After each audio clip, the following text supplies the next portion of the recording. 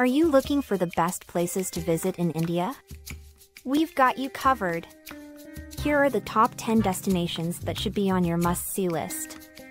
1. Taj Mahal, Agra. Make sure to take plenty of photos at this mesmerizing monument of love.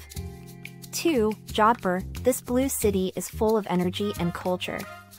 From its royal palaces to its bustling markets, it's a destination worth exploring. 3. Udaipur, visit the stunning city palace and take an evening boat ride on Lake Pichola for an unforgettable experience. 4. Jaisalmer, take in these sights of these magnificent ancient ruins and immerse yourself in desert life as you explore the sand dunes of Jaisalmer.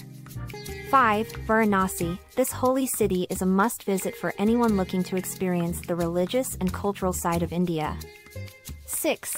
Goa, whether you're looking for an exciting nightlife or just want to relax on the beach, Goa has it all. 7. Hampi, visit this ancient village that's full of temples and ruins and take in its beautiful landscapes. 8. Mumbai, from Bollywood to street food, there's lots to explore in this vibrant metropolis. 9. Leh Ladakh, for outdoor adventurers, this alpine desert is perfect for trekking, camping, river rafting and more. 10. Rishikesh, spend a few days in the spiritual city, exploring its ashrams and yoga retreats. So what are you waiting for? Pack your bags and start checking these destinations off your list. India is full of surprises, get ready to explore.